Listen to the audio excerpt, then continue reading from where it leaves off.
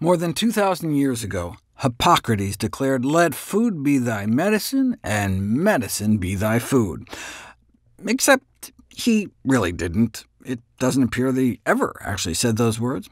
Now, there's no doubt about the relevance of food in health and disease in his writings, but who really cares? That was 2,000 years ago, when disease was thought to arise from a bad sense of humors. Now we have science, and there's an overwhelming body of evidence illustrating the dramatic impact of a healthy lifestyle on reducing all-cause mortality, meaning death from all causes put together, and preventing chronic diseases such as coronary heart disease, stroke, diabetes, and cancer. But wait, don't these diseases just run in your family? Uh, what if you just have bad genes? According to the esteemed former chair of nutrition at Harvard, for most diseases contributing importantly to mortality in Western populations, we've long known that non-genetic factors often account for at least 80 to 90% of risk. We know this because rates of the leading killers like cardiovascular disease and major cancers vary up to a hundredfold around the world, and when people migrate from low to high-risk countries, their disease rates almost always change to that of the new environment. Currently, for example, we've been able to identify modifiable behavioral factors, including specific aspects of diet, overweight, inactivity, and smoking that account for more than 70% of your risk of having a stroke or getting colon cancer, more than 80% of coronary heart disease risk, and more than 90% of risk for type 2 diabetes. All of that disease can be prevented by our own actions. If most of the power is in our own hands, why do we allocate massively more resources to treatment than prevention? And even preventive strategies are heavily biased towards pharmacology, rather than supporting improvements in diet and lifestyle that can be more cost-effective. For example, treating high cholesterol with statin drugs could cost tens of billions a year, only to have a modest impact on the incidence of heart disease.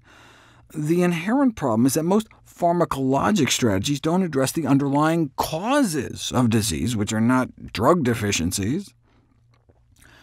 Ironically, the chronic diseases that are most amenable to lifestyle treatment are the same ones most profitably treated by drugs, because if you don't change your diet, you have to pop the pills every day for the rest of your life.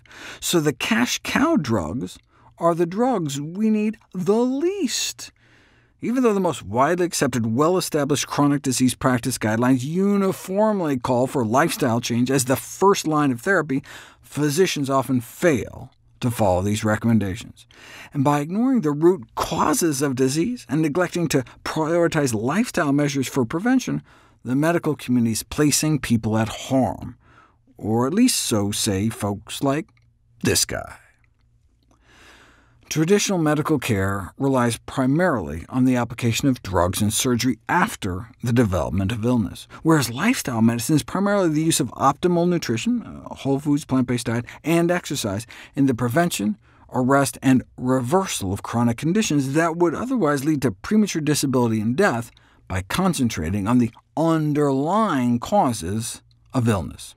Dr. Adriane Fugh-Berman director of a wonderful organization I'm proud to support called PharmedOut, wrote a great editorial entitled Doctors Must Not Be Lapdogs to Drug Firms. The illusion that the relationship between medicine and the drug industry is collegial, professional, and personal is carefully maintained by the drug industry, which actually views all transactions with physicians in finely calculated financial terms.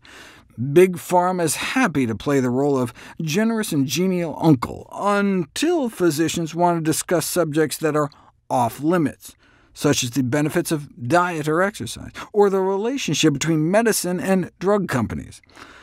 Let us not be a lapdog to Big Pharma. Rather than sitting contentedly in our master's lap, let us turn around and bite something tender.